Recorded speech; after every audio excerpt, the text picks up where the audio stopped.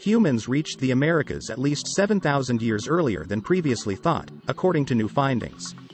The topic of when the continent was first settled from Asia has been controversial for decades. Many researchers are skeptical of evidence for humans in the North American interior much earlier than 16,000 years ago. Now, a team working in New Mexico has found scores of human footprints dated to between 23,000 and 21,000 years old. The discovery could transform views about when the continent was settled. It suggests there could have been great migrations that we know nothing about and it raises the possibility that these earlier populations could have gone extinct. The footprints were formed in soft mud on the margins of a shallow lake which now forms part of Alkali Flat in White Sands. The research has been published in the journal Science.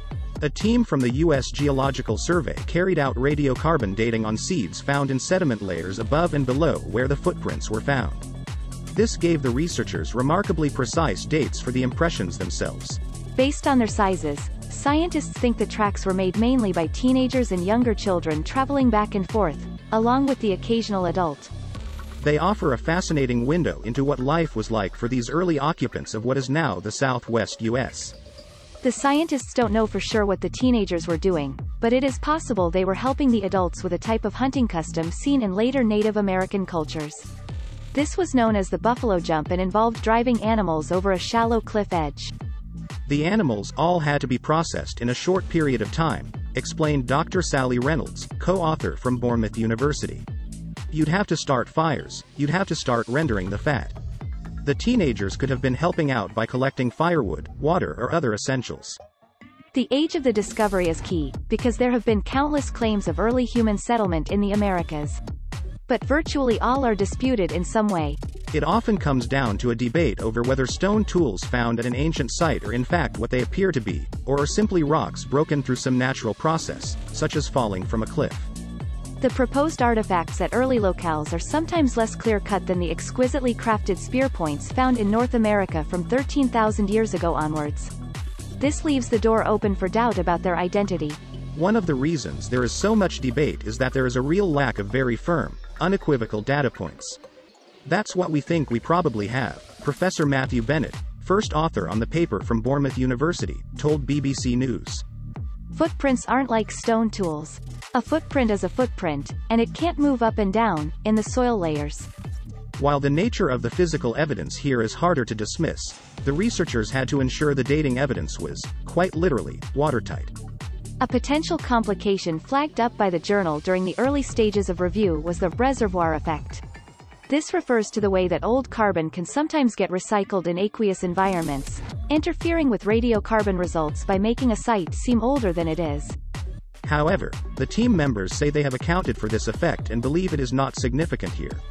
Professor Tom Higham, a radiocarbon dating expert at the University of Vienna, said, They've undertaken some checks on the dates of material from near to the footprint location and found that fully terrestrial samples produced ages similar to those of the aquatic species they dated from nearer to the footprints. They've also argued, I think justifiably, that the lake must have been shallow at the time people walked there, mitigating the effect of reservoir effects introduced by old carbon sources. The consistency of the results and the support from a different dating technique applied to the site both supported the validity of the results, he added. I think taken together this is a 21,000 to 23,000 year old sequence, Professor Higham told BBC News.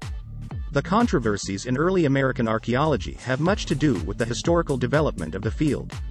During the second half of the 20th century, a consensus emerged among North American archaeologists that people belonging to the Clovis culture had been the first to reach the Americas. These big game hunters were thought to have crossed a land bridge across the Bering Straits that connected Siberia with Alaska during the last ice age, when sea levels were much lower. As the Clovis first idea took hold, reports of more ancient settlement were dismissed as unreliable and some archaeologists actually stopped looking for signs of earlier occupation. But in the 1970s, this orthodoxy was challenged. In the 1980s, solid evidence turned up for a 14,500-year-old human presence at Monte Verde in Chile. And since the 2000s, other pre-Clovis sites have become widely accepted, such as the 15,500-year-old Buttermilk Creek complex in central Texas and the 16,000-year-old Cooper's Ferry site in Idaho. Now, the footprint evidence from New Mexico suggests humans had made it to the North American interior by the height of the last ice age, when massive ice sheets covered much of what is today Canada. This would have blocked entry to humans crossing from Asia, perhaps suggesting that humans arrived even earlier when pathways through the ice were open. Gary Haynes, an emeritus professor at the University of Nevada, Reno, said, I cannot find fault with the work that was done or with the interpretations. The paper is important and provocative. The trackways are so far south of the Bering land connection that we now have to wonder if the people or their ancestors had made the crossing from Asia to the Americas much earlier, if people moved quickly through the continents after each crossing, and if they left any descendants. Dr. Andrea Manica, a geneticist from the University of Cambridge, said the finding had important implications for the population history of the Americas. I can't comment on how reliable the dating is, but firm evidence of humans in North America 23,000 years ago is at odds with the genetics, which clearly shows a split of Native Americans from Asians approximately 15 to 16,000 years ago, he told BBC News. This would suggest that the initial colonists of the Americas were replaced when the ice corridor formed and another wave of colonists came in. We have no idea how that happened. Follow Paul on Twitter.